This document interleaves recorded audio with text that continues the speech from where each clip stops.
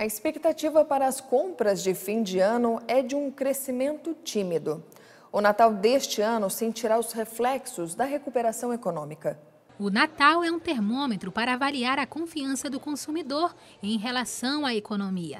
A data é importante não só para o consumidor, como também para o comerciante, em termos de venda e faturamento. Em 2016, os comerciantes esperavam uma queda expressiva no PIB, mas este ano o cenário demonstra uma melhora, ainda que discreta.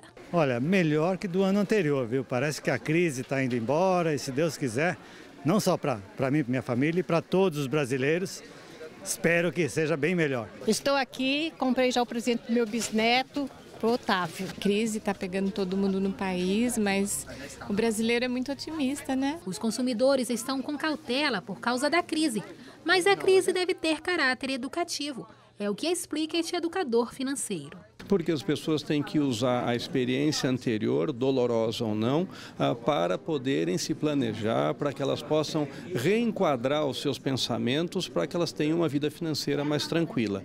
Não adianta nada nós passarmos pela crise que passamos e ainda estamos passando, e na hora que a economia se recuperar, eu manter os mesmos métodos, as mesmas formas de consumir que me levaram a ter problemas. Os sinais da melhora estão na queda da inflação e taxa Selic nos nos últimos meses. Além disso, o consumo das famílias voltou a aumentar.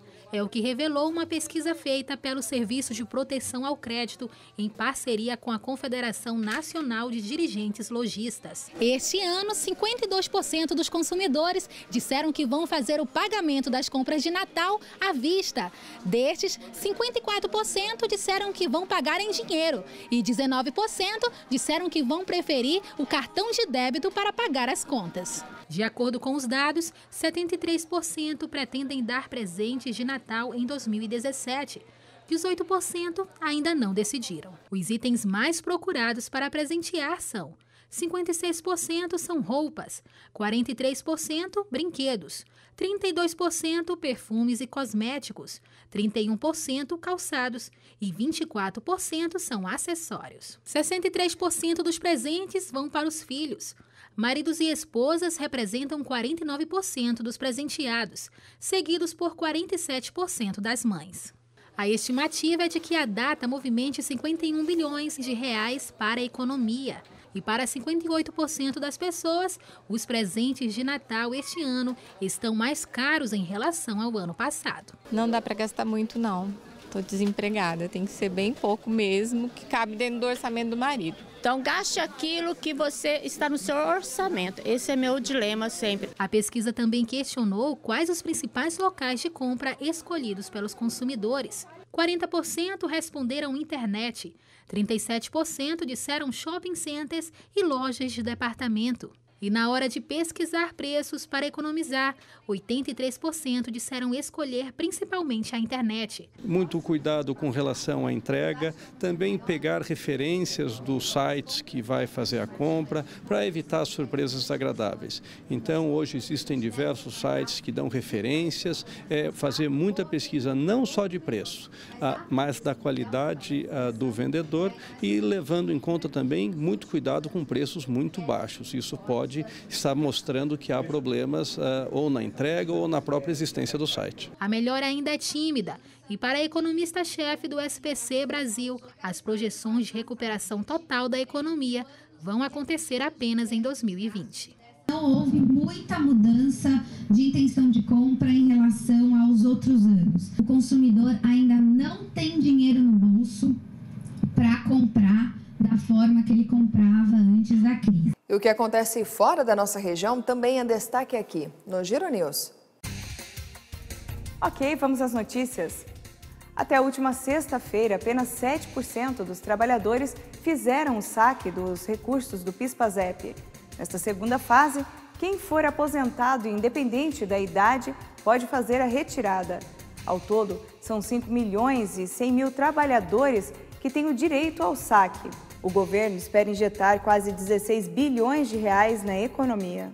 Procure a agência do banco, procure esses canais que estão, estamos disponibilizando e busque esses recursos. Eles estão disponíveis para ser utilizados. É um recurso da população, daqueles que têm direito.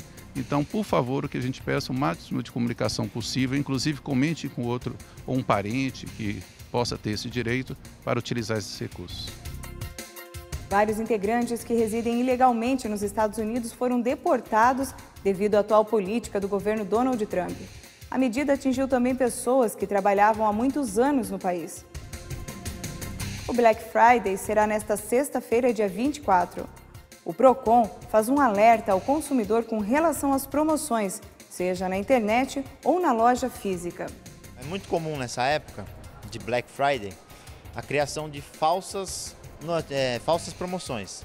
Os lojistas acabam elevando o preço um pouco antes da Black Friday e divulgam um preço é, que não reflete a realidade. É o famoso tudo pela metade do dobro. O consumidor acha que está fazendo uma grande compra, que está tendo um grande desconto, mas na verdade está sendo enganado. O consumidor, antes de adquirir seus produtos, primeiro, ele precisa fazer uma análise se ele precisa ou não daquele produto. Evitar a compra por impulso. Além de evitar fraudes, ele consegue evitar a compra de um produto que ele vai usar uma semana, duas e vai acabar gastando dinheiro e acaba não utilizando aquele produto como deveria. E um segundo ponto, que é muito interessante, é que o consumidor ele pesquise, pesquise, pesquise. Já já estou de volta com outras notícias aqui da nossa região. Fique agora com a entrevista de hoje.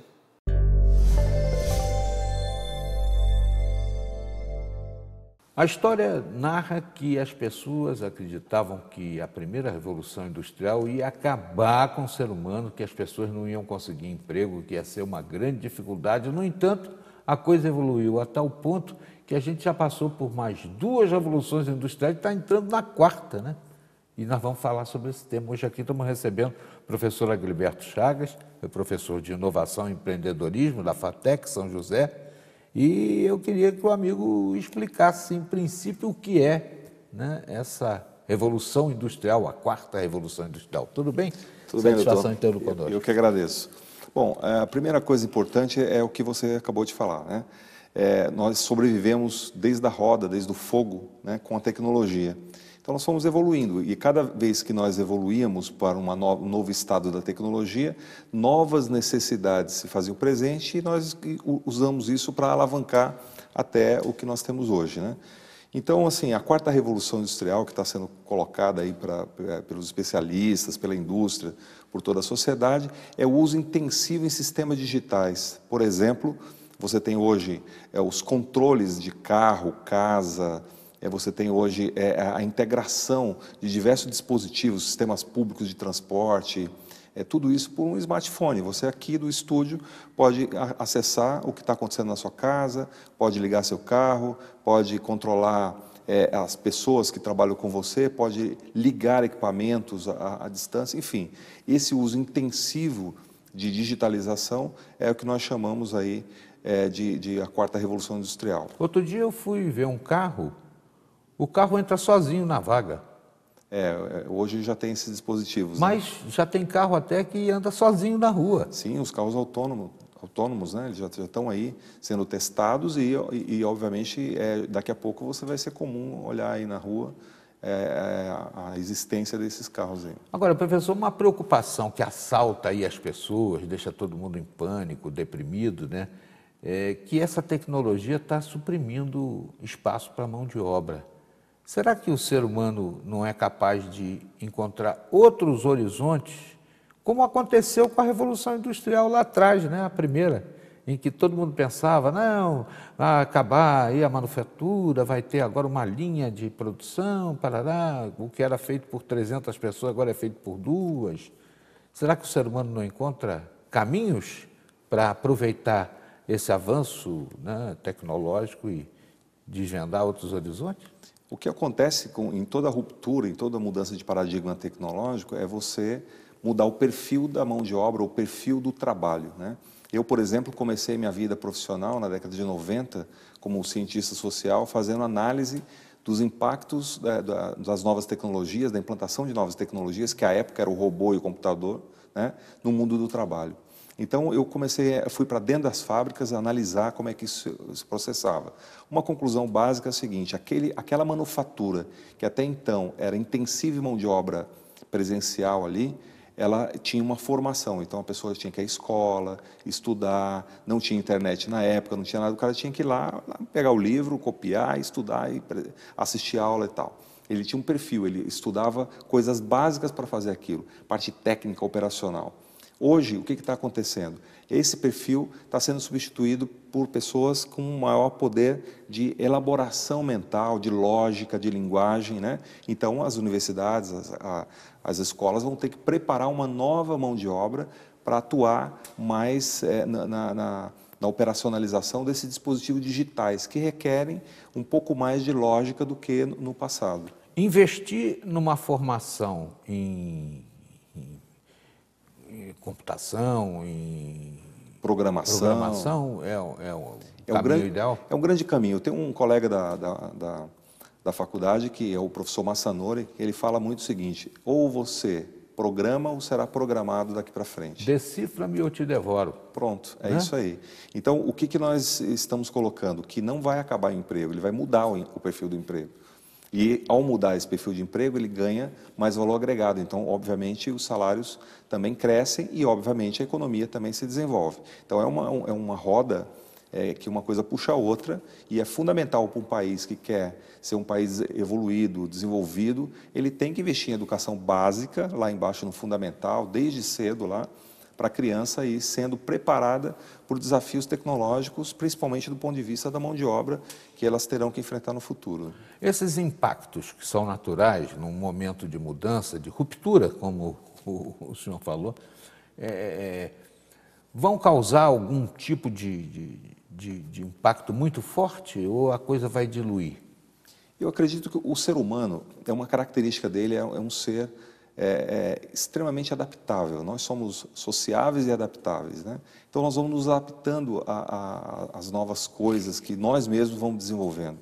Por exemplo, há 4, 5 anos atrás, nós acessávamos o computador de, um, de uma estação fixa né?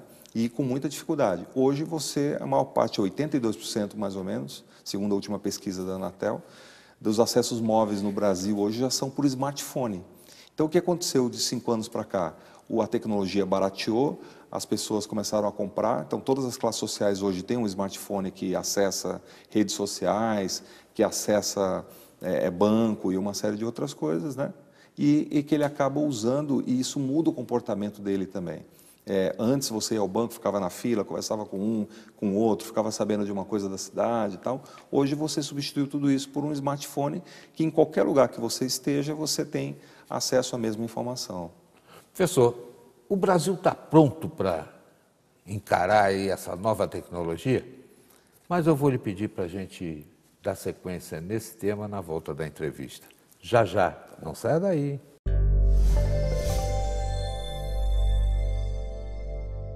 E no próximo bloco vamos mostrar uma academia da região que desenvolveu um projeto bem bacana que une atividade física e solidariedade.